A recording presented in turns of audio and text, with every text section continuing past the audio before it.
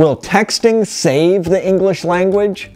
I'm Jon Deer for Blob Law, and today we're talking about texting, that ubiquitous form of communication using 160 characters of text. How is it affecting the English language, and is it a good thing or a bad thing? To answer that question, we have to look at how the English language got so messed up in the first place. Why are words in the English language so difficult to spell? Why are there so many silent letters and why are the same sounds spelled differently in different words?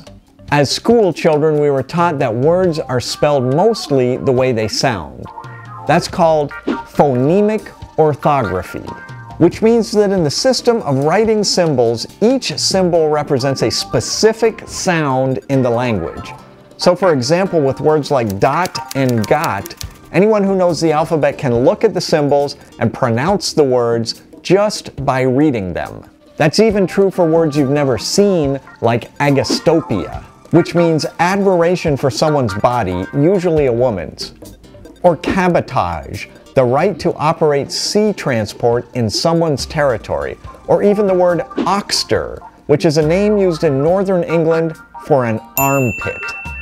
However, the English language is filled with words that don't follow these rules. Common words like caught, said, says, and on and on.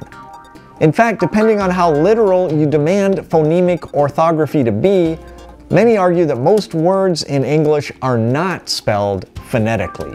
The reasons for this are complex and go all the way back to 1066 AD, the Norman Conquest, when William the Conqueror from France became the ruler of England and brought the French language with him.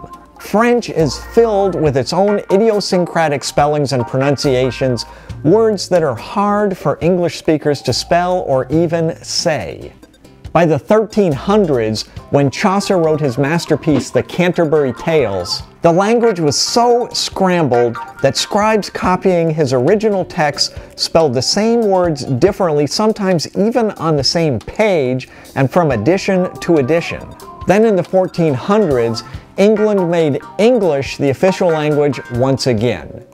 However, the problem only got worse. In 1476, a publisher named William Caxton set up the first printing press in England. He brought with him Flemish typesetters who knew nothing about English. They spelled words the Flemish way. That's how the word ghost became ghost with the added H. They also added letters to many other words as well. Since that time, there have been a number of concerted efforts to remove all of the unnecessary letters from English words. One of the more recent efforts occurred in the early 20th century when millionaire Andrew Carnegie funded an American effort called the Simplified Spelling Board. The group began publishing lists of recommended spellings of simplified words which removed all of the unnecessary letters, including words like color, which became color, judgment, which became judgment, and believe, which they spelled believe. As the board began to exert political influence to force people to use a list of 300 simplified words, Andrew Carnegie withdrew from the organization, believing that while simplified spelling could be encouraged and recommended, it could not be dictated to the public.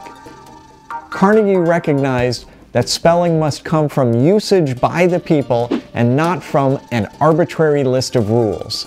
And that brings us right to our subject, texting and its effect on the English language. The effect of texting has been to turbocharge linguistic change.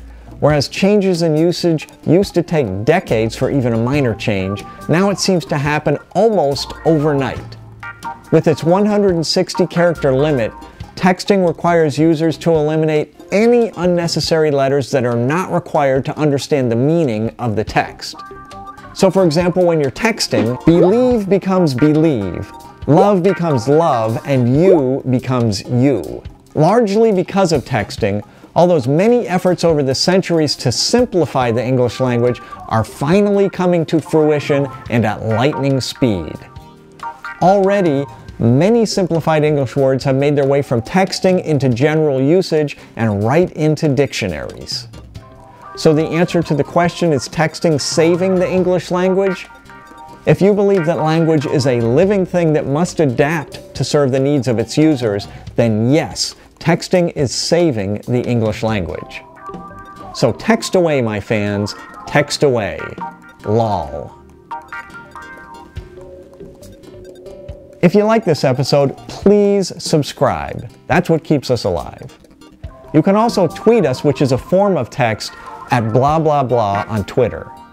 I'm your host, Jon Deer. As always, thanks for watching.